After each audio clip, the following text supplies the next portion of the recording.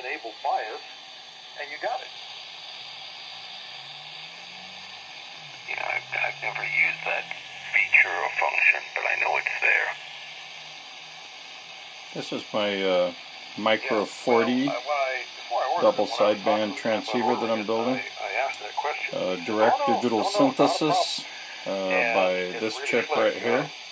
Now, why, and a big radio like And uh, this is a why didn't they provide that VK5TM's also? uh, little board that I bought well, that allows you to plug these cheap eBay modules as, uh, into. the And, uh, here's the encoder. in My humble opinion. Just a standard run-of-the-mill encoder.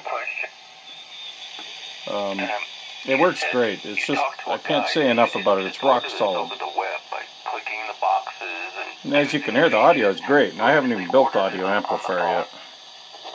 Well,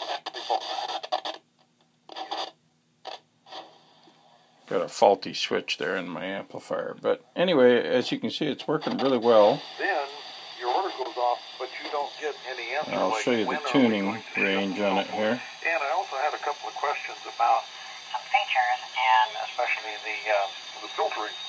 And so I called and we worked So- through, and the guy, and it's really a good idea to Um, do that. I'll build a Uh, microphone amp tomorrow, and, uh, and uh, said, okay, gonna build that out of a asking you some questions. And, okay, so he basically LF a 353, I would not um, have ordered wrong one. in the radio Uh, LF 353 op amp uh, would be the microphone amp, and it'll be right down in this area.